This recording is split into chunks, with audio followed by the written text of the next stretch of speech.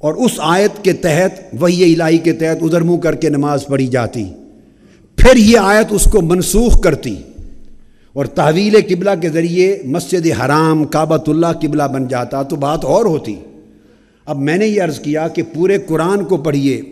बैतुलमक़दस से काबातुल्ला की तरफ़ किबला बदल लेने का ज़िक्र तो कुरान में है। मगर ये साढ़े चौदह बरस, पंद्रह बरस तक बैतुल मकदस को किबला बनाए रखना यह किस कुरान में है? किस आयत करीमा में है? किस हुक्म के तहत हुजूर ने वो किबला मुकर किए रखा? तो पता चला कि तहवील किबला आयत कुरानी से हुआ और अलकुद्स का ताजीन किबला सुन्नत मुस्तफ़ा से हुआ।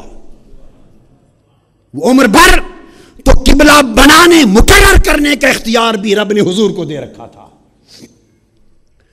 ये सुन्नत का इख्तियार था, जिसके तहत हजूर नमाज़ पढ़ते रहे, पढ़ाते रहे। सोलह सत्रह महीने हिजरत मदीना के बाद तक तो कुरान फ़कत तहवील किबला की का हुक्म देता है, और अलकुद्स के मुकर किए जाने का हुक्म कहीं कुरान में नहीं आया। आप समझे कि सुन्नत और हदीस की और आका सलाम की अपनी हदीस और अमल की हजीत का आलम क्या है? मजमून, मैंने ये सारी शहादतें इसलिए पेश की कि जिस तरह हुक्म कुरान से साबित होते हैं, उसी तरह अहकाम हुजूर की हदीस और सुन्नत से साबित होते हैं। क्योंकि हदीस और सुन्नत का हुक्म भी आका पर उतरता है, उसका ज़िक्र कुरान में नहीं होता। क्योंकि हुजूर का वास्ता खबर सिर्फ़ कुरान नहीं है, और भी बहुत है। तो आका सलाम का और ये जो तमाम कुतुब हदीस में आता है, इमाम अहमद बिन हम्बल ने रिवायत किया। पहले तो आपने बुखारी मुस्लिम से सुन लिया कि सोलह महीने तक आका सलाम अलकुद्स की तरह मुँह करके नमाज़ पढ़ते रहे, सोलह माह तक। और बाद में फिर तहवील किबला हुई। ये सही मुस्लिम।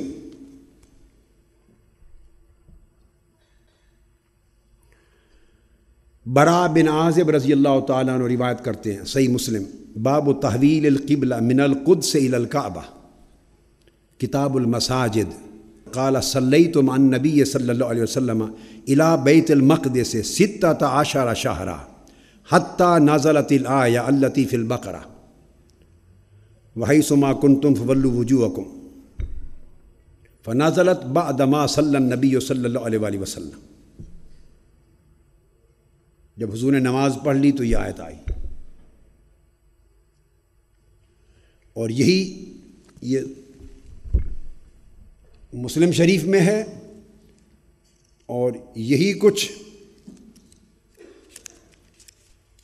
इसी तरह सही बुखारी में है सारी तफसील हर किताब में अब अगली बात जिसको इमाम अहमद बिन हम्बल ने रिवायत किया। इमाम तबरानी ने मुस, अपनी मोजम कबीर में, इमाम बज़ार ने, इमाम इबन अबी शैबा ने, इमाम अबू दाऊद ने अपनी अन्नासिख में और इमाम बेहकी ने रिजाल सही के साथ। अब्दुल्ला इबन अब्बास रज़ी अल्लाह तु रिवायत करते हैं। वो फरमाते हैं कि, कान रसूल सल्लल्लाहु वसलम वसल्लम युसल्ली वहुआ बेमक्का था। नह बैतमक़दस वलकाबत बैन यदह कि मक्का में जो तेरह बरस गुजारे, उसमें भी आका सलाम नमाज़ इस तरह पढ़ते थे कि मुँह बैतुलमक़दसी की तरफ़ करते और काबा को सामने कर लेते थे। बादमा हाजरा इलमदीना सित्ता ताशरा शहरा। और यही अमल सोलह महीने हिजरत के बाद भी जारी रहा। जो पूरी बात आपको बताई, ये हदीस पाक से पढ़ के सुना दी। तो मकसद बताने का ये था कि ये हुक्म सारा तहवील का कुरान में आया है। तहवील का। मगर अलकुद्स का किबला मुकर्र किया जाना, जिस पर साढ़े चौदह साल हजूर सलाम का अमल रहा, साढ़े चौदह बरस, उसका हुक्म कुरान में न था, वो फ़कत सुन्नत मुस्तफ़ा थी। उसकी हजीत अंदाज़ा कीजिए। इसी तरह मक्का हरम है। जिस दिन फ़तह मक्का हुआ, आका सलाम ने खुतबा, फ़तह मक्का का खुतबा दिया। मक्का मौज़मा को अल्लाह ने हरम बनाया था और फरमाया था हाज हिल हाजिल बलदतिल्लजी हर रमाहा अल्लाह ताला ने शहर मक्का को हरम बनाया। दूसरे मुकाम पर फरमाया, अवलम नुमक्किन लहुम हरामा। आमिन। अल्लाह पाक ने अमन वाला हरम बनाया मक्का को। इसी तरह मुख्तलिफ़ मकाम पर, कुरान मजीद में पंद्रह मकाम पर, पंद्रह मकाम पर मक्का को और मस्जिद हराम को हरम कहा गया। तो मक्का को हरम अल्लाह रब्ज़त ने बनाया। दरख्त नहीं काटने, जंग नहीं करनी, हमला नहीं करना। ये बात बड़ी आम है। हमला भी नहीं कर सकते। और हदीस पाक में आकर इस्लाम ने फरमाया कि जिस दिन अल्लाह ने कायनात बनाई, उस दिन से मक्का को हरम बना दिया। अब उस पर हमला नहीं हो सकता। तो फतेह मक्का के लिए आकर इस्लाम ने हमला किया या नहीं किया, बोलिए। आठ हिजरी में फतेह मक्का के लिए हमला किया या नहीं? बोलिए। आठ हज़ार, दस हज़ार का लश्कर। सहाबा कराम का लेकर आए, अहले मक्का ने हथियार डाल दिए, सरेंडर कर दिया। तो आका सलाम ने फतह हो गया जब मक्का तो खुतबा दिया। और ये खुतबा सही बुखारी और सही मुस्लिम में मुतफ़ अल दोनों किताबों में आया है।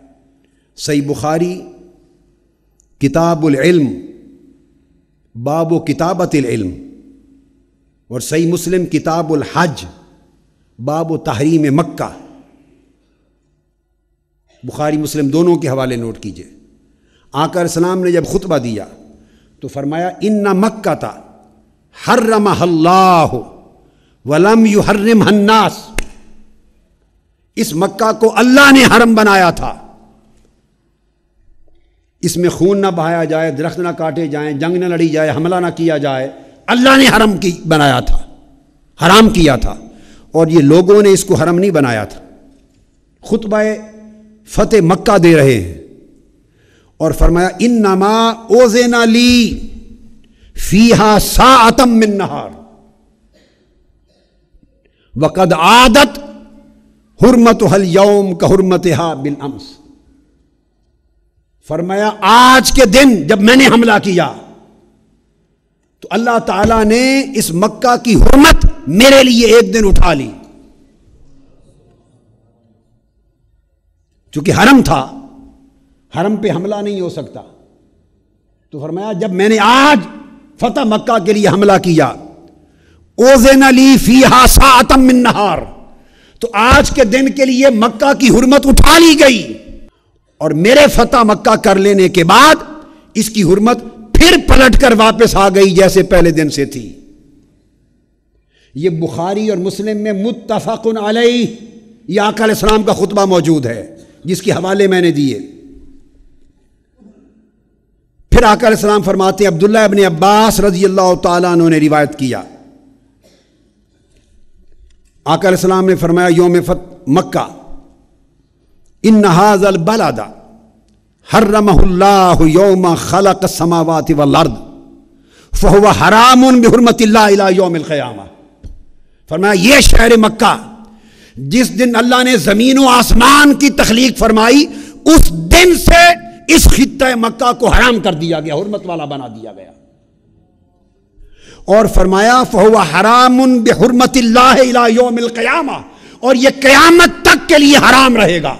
इसकी हरमत रहेगी, इस पर कोई हमला नहीं कर सकता। और फरमाया, किसी के लिए यह हलाल नहीं किया गया, मगर मेरे लिए आज के दिन इसकी हरमत उठा ली गई और हलाल कर दिया गया। तब मैंने इसको फतह करने का हमला किया। अब जो सवाल काबिल तवज्जो है, ये बुखारी मुस्लिम की मुतफ़न अलई हदीस, किताबुल में, बुखारी में और सही मुस्लिम में भी। अब सवाल ये पैदा होता है कि हुरमत का ज़िक्र तो मक्का के हराम होने का तो कुरान में भी आ गया। और आका सलाम ने भी हदीस सही में फरमा दिया खुतब फ़तेह मक्का में कि कायनात की तखलीक के दिन से लेकर क़यामत तक ये हराम है। और किसी के लिए हलाल नहीं किया गया, कोई हमला नहीं कर सकता। और उस खुतबा में फरमाया कि मेरे लिए आज के दिन इसकी हुरमत हिल्लत में बदल गई। अब सवाल यह है कि हुरमत का ज़िक्र तो कुरान में है। जिस हिल्लत का ज़िक्र आकाल सलाम ने किया कि मेरे लिए एक दिन आज हलाल कर दिया गया, वो कहाँ आया है? कुरान ने इसकी हुरमत बयान की।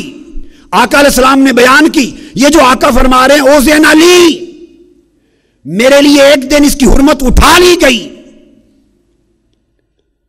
और हलाल कर दिया गया एक दिन। वो कहाँ है? किसने हलाल किया? कहाँ ज़िक्र है?